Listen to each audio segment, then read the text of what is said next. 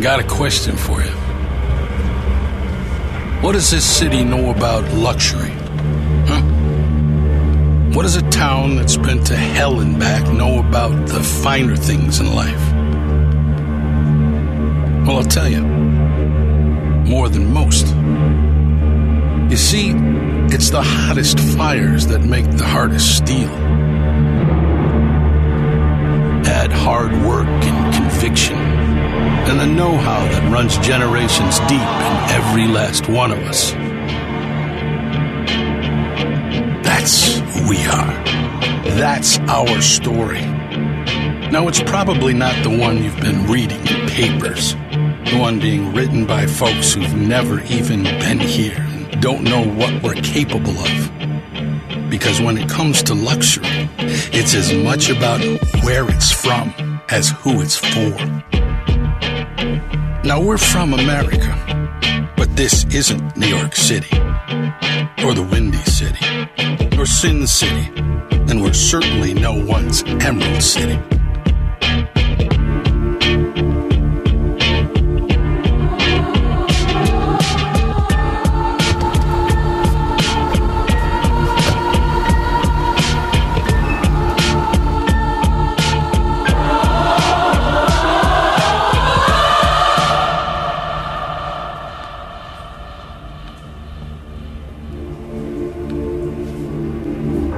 The City. And this is what we do.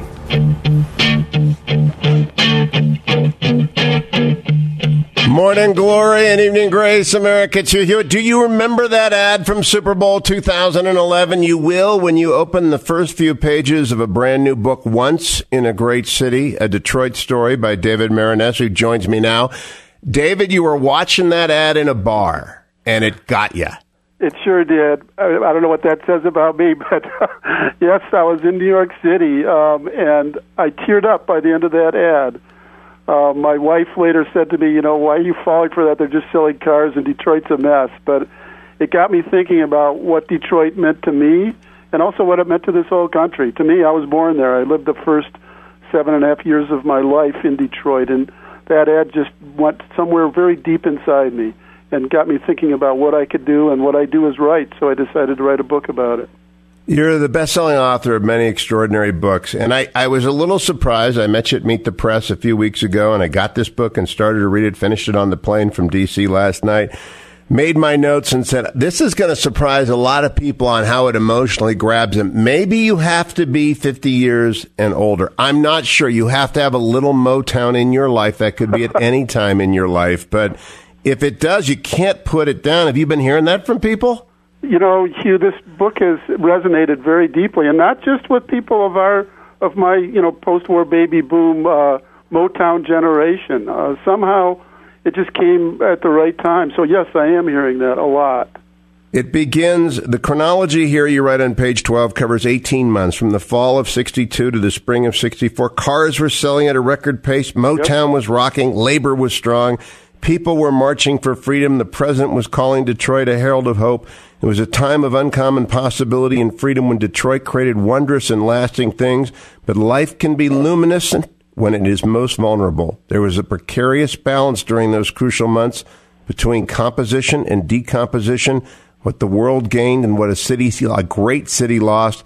Even then, some part of Detroit was dying, and that is where the story begins. It begins with something I actually, I'm born in 1956, David. Yep. I'd never heard of the Ford Rotunda until I read Once in a Great City. Never heard of it.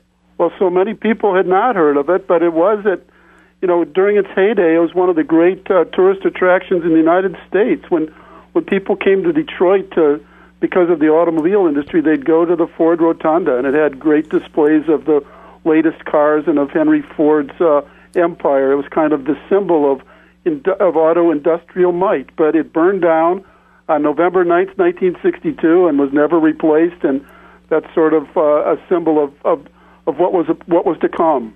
There's so much of the wrecking ball in the first few chapters of Once yeah. in a Great City. The the Gotham goes down. The the Ford the Cadillac uh, Sheraton goes down all these things are going down. I know Detroit 80 to 83. That's when I'm in law school at Ann Arbor and I would Oh, go in. I think I told you I'd go to Yeah. Greektown, I'd go to Tiger Stadium and the Renaissance Center had been built and that shabby Super Bowl was Yep. held, but most of the damage had been done by then.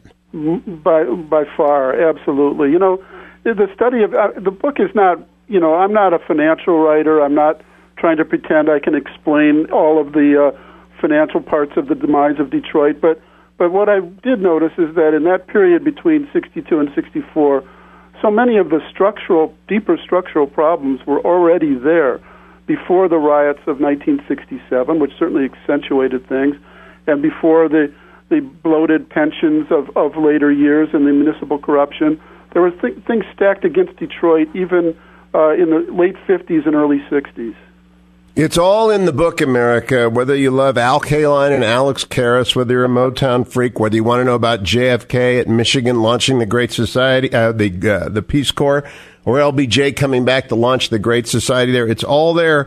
But it begins with an astonishing set of facts. In Detroit, in 1960, there were 1,670,000 people. The city was 28.9 percent black. It fell by a million people in 50 years, David Maraniss. That's, it's a warning to every metropolis in the world, isn't it?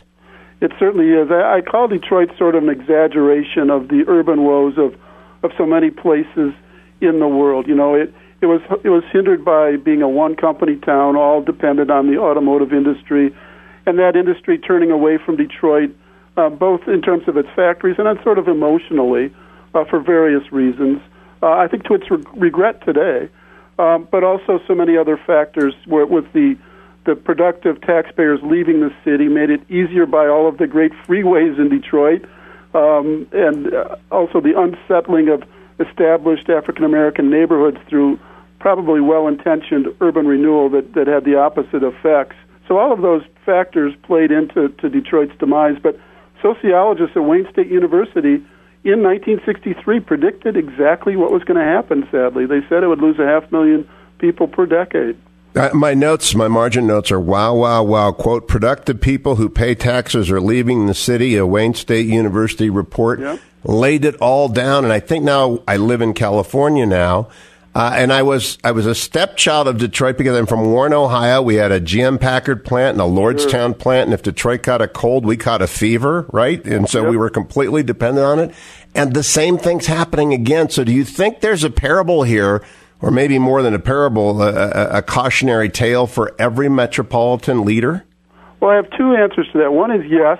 Um, if we had all of the answers, though, this would be a magical world, right? Unfortunately, but I think that that one way you can look at it is that whenever a city or an area goes for short-term gain uh, as opposed to long-term stability, it suffers, and I think that happened to a large degree in Detroit. Some of it might have been inevitable, but a lot of it was small decisions that you'll see throughout the book that added up to, to trouble. The other uh, positive aspect of it is Detroit hit such a rock bottom that it's coming back. And I was there last week, and the energy was palpable and delightful. And there's so many um, young people moving to Detroit now because it's you can start at the bottom and be creative, and it's cheap housing, and and they're you know they're turning it into I w- would call it the the new Brooklyn, but that but Detroiters don't like to hear that. Um, but What- there's what also about the- in the downtown area a lot of investment going in. You know, uh, rich people gambling on the city again and wanting to to help it succeed. So, Dan yes, Gilbert think we can very rarely is Detroit, wrong. But also, it's what what's coming now. Yeah, Dan Gilbert is very rarely wrong when he makes a bet. But let me let me remind people, I didn't know this until I read Once in a Great City, a Detroit story, which is linked at hughhewitt.com. Perfect Christmas present, but just read it for yourself.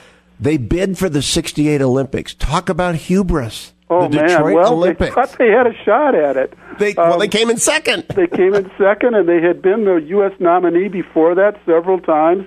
This they thought was their time. It, the decision was made in 1963. Uh, they lost to Mexico City, and what fascinates me, you know, it's counterfactual history. What if? But there are a lot of what, ifs in in life and in in the story of this city. But what if Detroit had gotten those Olympics? Would would the uh, powers that be in Detroit have been more sensitive to the problems bubbling up and, and somehow have prevented the riots of 1967? We don't know. Maybe not, but, but it's an interesting thing to ponder. On the other side, what if the Olympics had been held in Detroit in 1968, that, that year of black power when Tommie Smith and John Carlos raised their fists in Mexico City? If that had happened in Detroit, one of the, the heartbeats of African American life in, a, in the U.S., it could have been quite something. I'm coming right back with David Maraniss. His brand new book, Once in a Great City, a Detroit Story, is linked at hughhewitt.com. You're going to love it. You're going to find it impossible to put down.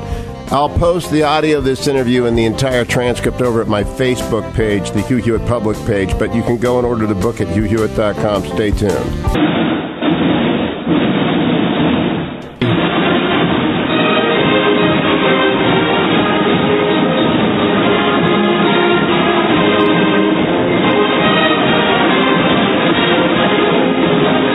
21 minutes after the hour, America. It's Hugh Hewitt, Harvard, Harvard Art. I can't even say it, David. How do you say Harvardania? I, you know, I went to Harvard. I should be able to pronounce it. But the band played it when John F. Kennedy blew into town in Detroit in 1962, just as the Cuban Missile Crisis was about to unload on him.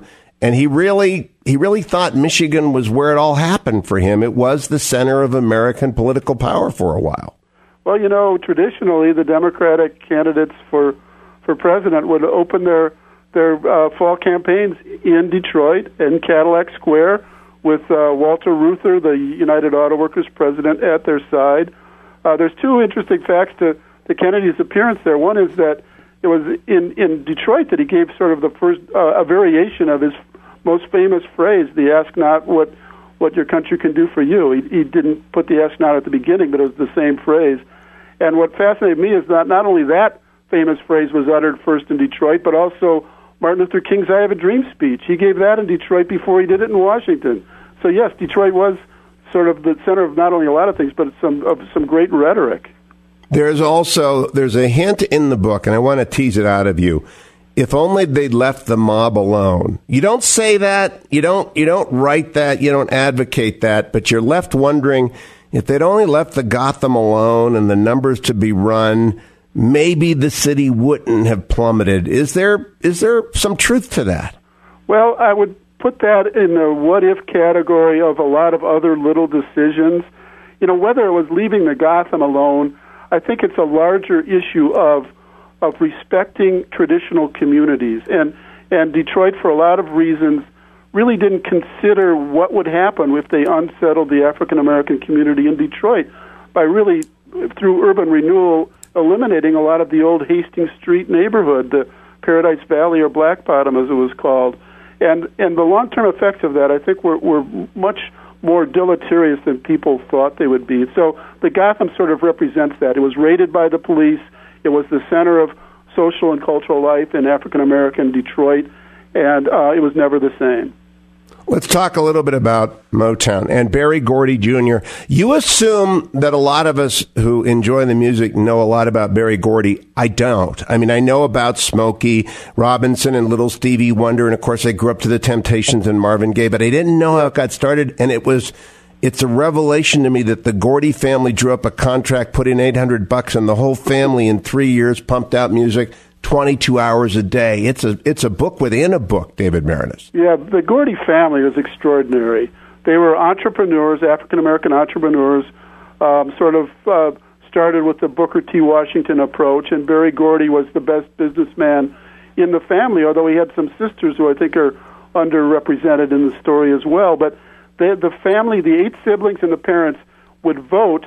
They had their own fund, and they'd vote on what to give it to. And they gave $800 to Berry Gordy in 1959, and from that seed money, he started the most incredible uh, African American music enterprise in our history, the Motown. Um, and his story, you know, he started on the assembly line in Detroit and really started writing songs there.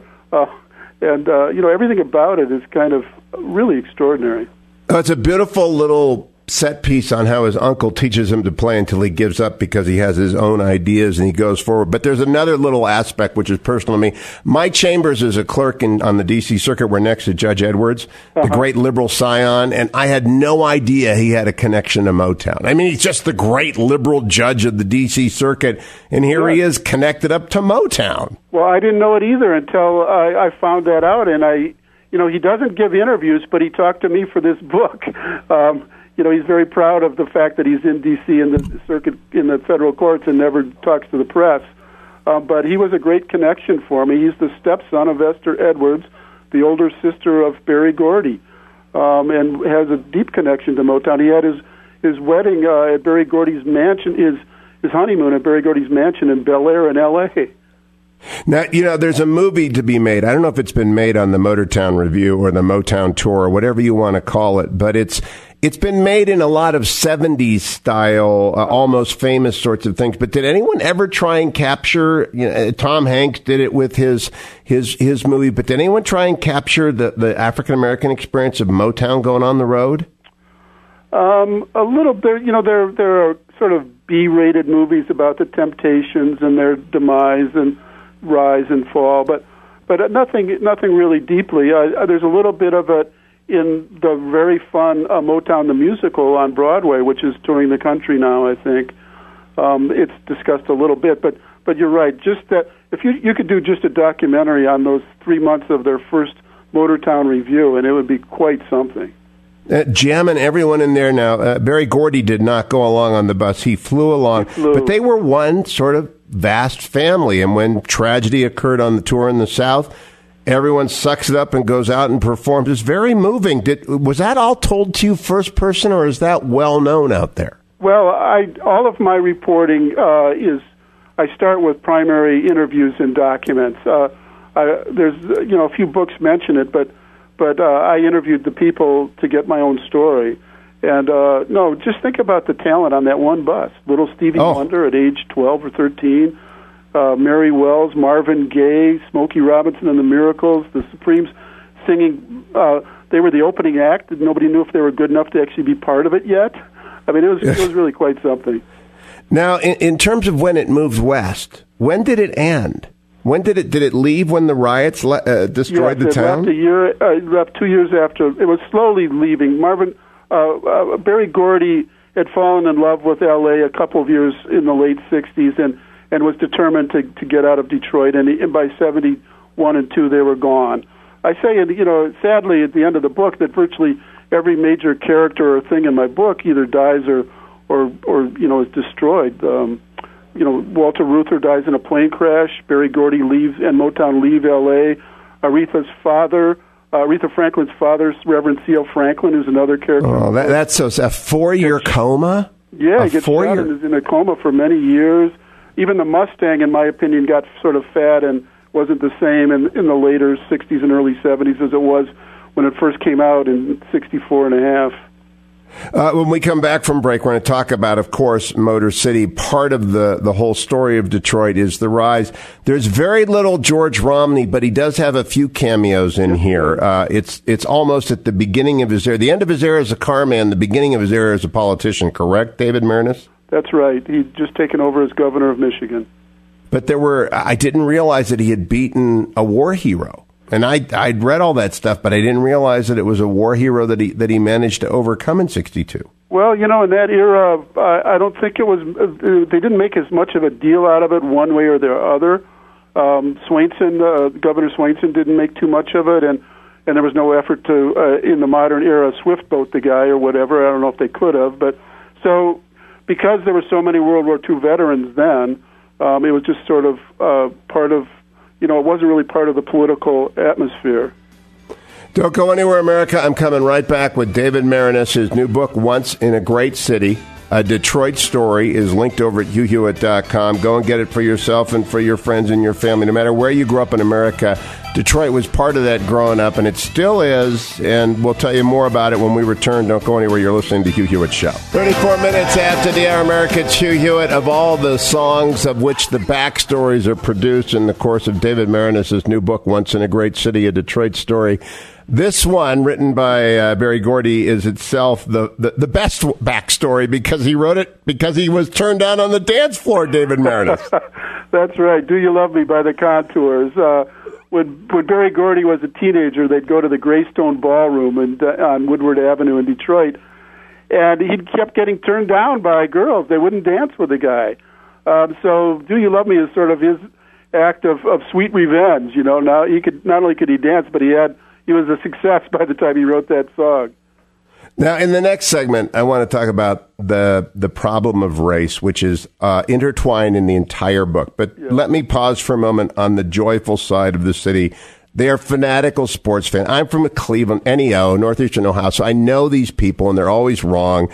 But you talk about Alex Karras and Al Kaline and Gordie Howe and Night Lane Train and this is a city that loved its sports people, but their sports people loved the mob. It's a fascinating, again, it's a book within a book. Yeah, well, there was, you know, I think that there are connections in a lot of different uh, cities with with uh, the shadier side of life. Uh, Alex Karras, who was a very colorful and interesting and an iconoclastic uh, human being as well as football player, um, you know, was a part owner in a bar that was very closely connected to the mob, and the the mob in Detroit had what they called the party bus, a reconfitted uh, city bus that that they put in a bar, and they'd go around town and pick up prostitutes and and football players, and sometimes even take those football players to away games in Cle- in your Cleveland. oh, I know. There, Cleveland makes a cameo on page 119 because of a rare NFL doubleheader. You yeah. also brought you brought back memories, distant memories of the playoff bowl. I think I think most of us have tried to put that out of our memory. It was such a horrible sports event. But I am curious at what point did when, when they they built the Pistons out of town and they, they Tiger Stadium was falling apart. Yep. Did did you see any symmetry between the cities? Collapse in its failure to care for its sports institutions? Well, yes. Um, uh, you know, it, it, you never want to make too much out of uh, city uh, stadiums and sports institutions because so often the the owners, you know, the rich owners, try to milk the cities out of it. And, right. But but nonetheless, I think there is a very important connection, and and particularly in these old industrial cities like Detroit and Cleveland and Pittsburgh uh, the the sports is so central to the sense of self of the place, and and when the Lions and the and the Pistons left the city of Detroit, uh, absolutely it had a, a reverberating impact on it.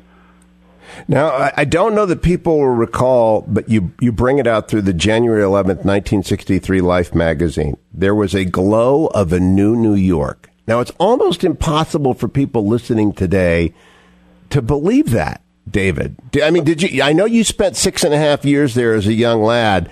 I had never heard about the Ford Tower, the real Donner and Blix, and you know, I, I don't have any memory of big yep. Detroit, but but it it must have been immense. Yeah, the glow from Detroit was the cover of uh, Life magazine in July of in January of 1963, and and um, it did seem to be glowing then in all the ways that I write about in the book. Uh, particularly, they you know, I start one of the early scenes in the book is the 1962 Detroit Auto Show, which is the Detroit what uh, the Academy Awards are to L.A. or the White House Correspondents' Dinner to Washington, and that that there was a huge deal. And at that um, auto show, they unveiled the 1963 cars, which sold more than any in history. And at the same time, sort of uh, very secretly, Ford Motor Company was and the J. Walter Thompson Advertising Agency were jointly planning the creation and the marketing of the Mustang, the the sexy car of the '60s. So it it was a, a boom time in Detroit. Uh, oh, you're you're you're backstage at the show. Has the show come back? Uh, David Maraniss, it, it, there's still a show, right? There is but, still a I don't show, know, and yes, it is come. It is coming back, um, particularly in the last couple of years. You know, when the industry came back a little bit. Um, yeah, I, and uh, you know, I, I, as I said, I was just in Detroit, and and it was far more than the uh, auto industry now. It's no longer um, as dependent on one industry as it used to be because because of Dan Gilbert and so many others who are, who are either the, the you know the big money boys who are gambling on the downtown or the or the kids who are flooding into the midtown area. And how are the suburbs doing? You know, I, my first race I ever ran was in Mount Clemens, which was always an auto worker town. It's what I was in law school. It's probably a 1981 race, something like that. Are they seconds. coming back as well? Well, it depends on what suburbs you're talking about. Uh, Warren, Mount Clemens. I mean, Highland Park is one of the saddest places in the world, uh, huh. which is you huh. know uh, outside of Detroit. But it it's so bad that it has a worse school system than the Detroit itself. Uh, wow, that but, is bad. I'll be right back with David Maraniss. We're talking about Once in a Great City, a Detroit story. It's linked at hughhewitt.com. Stay tuned.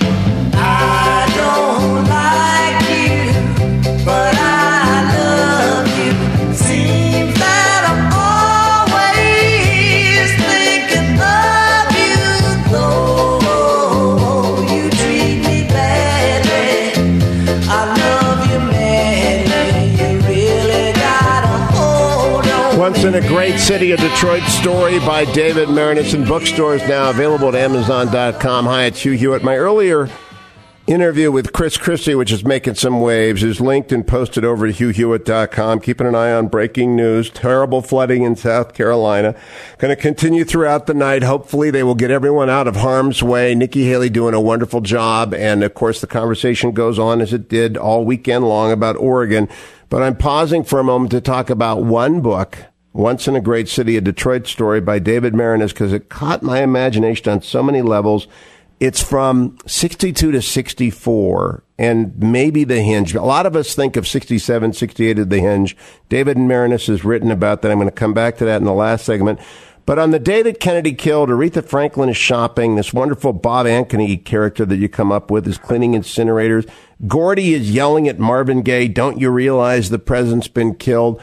And it's kind of a moment in time where the tumble begins, um, David Maraniss. Yes, uh, you know there there are a lot of those sorts of forebodings in this book, and, and certainly Kennedy's assassination is is one of them. And there were there were many more connections to Detroit than I than I realized. You know, the, including the fact that the car that Kennedy was assassinated in was was you know came out of Detroit. Of course, it was a yep. Ford uh, limousine, and and went now it's back at Greenfield Village, kind of eerily. Um, the, one of uh, you know, one of my favorite uh, moments, in, or sort of weird moments in that whole thing is uh, that Jack Ruby's brother lived in Detroit. You know, the guy who killed Lee Harvey Oswald ran right. dry cleaners in Detroit, and that a, a reporter from the Detroit News uh, was one of the pallbearers at Lee Harvey Oswald's uh, forlorn funeral uh, in, down in, in the Dallas area. Yeah, and just three or four years ago, I stopped coming back from a, a, law school reunion at Greenfield Village. My wife didn't actually believe it existed. It was empty. I mean, just completely empty, and it's still an amazing place. But what I wanted to do in this segment, Chapter 7, Reverend Cleage does not want to be with the Reverend C.L. Franklin, who's Aretha's father, or with Martin Luther King. He wants to be with Malcolm X. He's an Oberlin man. That, by the way, is where my dad and brother went. He, he, he went to the U of M law school. He is really a divider in a city that is dividing along race in a way that every city in America divided within the black community along race, and you captured it very nicely in this book. It's you know it's a it's 1963. Um, as the decade progresses, those divides within the African American community get wider and wider and, and more uh, problematic in terms of uh, the civil rights movement. Um, so, uh, you know, I see it as another breaking point in a sense. Reverend Cleage was a very charismatic preacher, as was uh, Aretha's dad, uh, C.L., probably the, the most uh, flamboyant and colorful preacher in Detroit.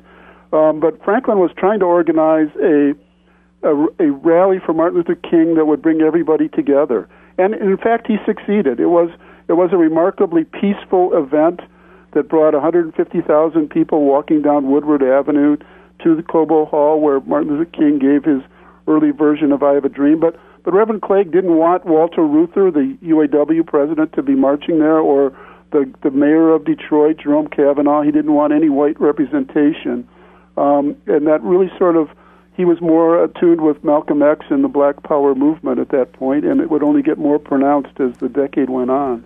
Now, what was that moment, which is basically uh, "we'll do it ourselves" moment, uh, yes. black identity moment. Was that replicated in other places, or is it unique to Detroit? Oh no, it was replicated almost in every, uh, both in the north and the south. You know, not le- much longer after that, you had H. Rap Brown and Stokely Carmichael and and SNCC turning. You know, SNCC would the the, the Student Nonviolent Coordinating Committee had started um, as a very integrated movement with a lot of right. from the north coming down to to work on it and and very soon after that, it became you know representative of Black Power and a very different sensibility. Yeah, I'm just trying to figure out where it started, and I, I really this is early. This yeah, is really no, an early indication it, I wouldn't of it. say it started in Detroit. It's certainly Mal, uh, Malcolm X in, in New York City uh, and, and the and the um, and Chicago and and and you know I think it, I think it was sort of uh, spontaneously happening at a lot of places at about the same time, but but certainly Detroit represented that in a very profound way that that summer. And when did the drugs arrive? Once in a great city, a Detroit story doesn't really give you much know, time to it, uh, and I'm wondering when right. they arose. there certainly were drugs in Detroit then. There was heroin and um, and other drugs, but I think that the, the the real large movement of drugs started probably in the later 60s and certainly deeply into the 70s. It was uh, out of control. And so, what was the city's relationship with the rest of the state? Again, Detroit was a place you'd go to if you were in Ann Arbor for a night or or a weekend. It, it was a place to go and come back from, not to stay or to drive through on your way to somewhere else, up to the Lord, uh, you know, you know, up to the Oop, whatever you're going. Yep. When did that disconnect occur? Well, I think in the period that I'm writing about, it wasn't as pronounced as it certainly would become. You know, the dividing, the traditional dividing line are the riots of 1967, and I think that's the most pronounced uh, differentiation. It certainly was occurring over a period of, you know, things don't happen just, um, you know, uh, spontaneously. So over the course of probably the starting in the late 50s, I would say, and then most pronounced by the riots of 67. And did did Vietnam and the fact that McNamara, I love that pull up your socks kind of guy anecdote, by the way. I mean, that's really a telling anecdote. How much does McNamara's run of the war cast a shadow on Detroit? That's reaching, I know, liter- for a literary connection, but right. his methods became the methods of Vietnam. Yes, they did. Um, that he learned at the, you know, that he imposed at the Ford Motor Company um, fairly successfully, sort of the turning everything into analytics and numbers and and uh, you know I, I don't I don't I don't have a I'm not a I'm also not a, I can't claim to be an expert on cars. I, I do know a lot about Vietnam. I wrote a book about that too. But but I think that that sort of McNamara's sensibility um, certainly um, carried over from the Ford Motor Company to the Pentagon, and not and not for the better. Not for the better. I'll be right back. One more segment in today's show with David Maraniss. His great new book, Once in a Great City, a Detroit Story, is linked at hughhewitt.com. Stay tuned.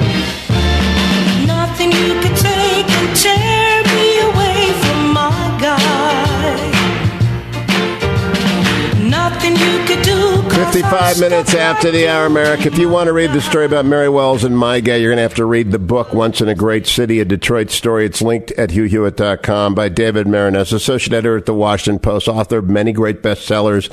Once in a Great City is, I hope somebody's inspired to do the same thing for Cleveland, but I don't think it's got the same kind of Shakespearean arc to it. Uh, a closing question, David Maraniss. This is a short segment. Uh, President Kennedy launched the Peace Corps at U of M. LBJ went back and he launched the Great Society. Now, the Peace Corps is not a failure. And, you know, Right. My college roommate, Mark Gearan, ran it for a while. It, it's done great work, but the Great Society failed. Tom Hayden launched the SDS out of Michigan and Port Huron. It failed. They all failed. Did Michigan give up the essential element of its greatness, which was capitalism and free enterprise? Is that where it went wrong? Um, I don't know. That that question is too big for me. You, I mean, to be honest, I, I could give a, a, a superficial answer, but I think it's much more complicated than that. Um, but certainly, I end the book at with Lyndon Johnson's speech because it's such a wistful moment where the characters in the book don't know what's coming, but we all Right. do, and, and and it is that that failure to meet the hopes and promises of that moment. Well, you also end with a Venn diagram. It's fascinating. uh, this Venn diagram, everybody is connected in a city that works, and no one is connected in a disaster. You know, um, well, they're, they're all part of the disaster in the end. But that that that diagram um, was just something I used to help me write the book, and and my editor saw it and said, "Let's publish it." so um, you know, Good on him or her. The characters are pretty strong. And there's a little eulogy section. I won't even call it an epilogue where you're walking along Woodward Boulevard and it's empty and you could read War and Peace and cross it. Hopefully it does. They've got everything. right? I don't know if they got the gas that Ohio and Pittsburgh and got, but, but they've got water, right? They still have everything that made it a great city. They do have everything, and uh, you know, I'm a journalist. I've been one my whole life. My my my philosophy is be uh, optimistic but always skeptical. And so I'm skeptical, but I do see a lot of energy in Detroit now, right now, and because they had so much, I think they can have some of it back again. Well, David Maraniss, congratulations. Once in a Great City, of Detroit story is in bookstores now. What's next, David? You've got pretty much the 60s covered. I think I'm done with the 60s. You're right, Hugh. So, so where are you waiting for the next president? Is that it? You wrote a book about President Yeah, Obama. maybe so. Maybe so, yeah. All right. If you if you had to pick one right now, who you'd want to write about? I mean, are you up to a Trump biography? No, I, I can't. I just can't swallow it. I'm sorry. David Maraniss, thank you for joining us, America. Don't go anywhere. I'll be back tomorrow. Uh, Doctors Without Borders is demanding an investigation at this hour. The description of the attack keeps changing. They say the reality is the U.S. dropped these bombs. They people to look into it. I'll bring you the update on that. And on the race for Speaker between Kevin McCarthy, the overwhelming favorite, Jason Chaffetz. Whatever happens overnight, I will tell you about. Do not worry if it happens. You'll hear about it here first on The Hugh Hewitt Show.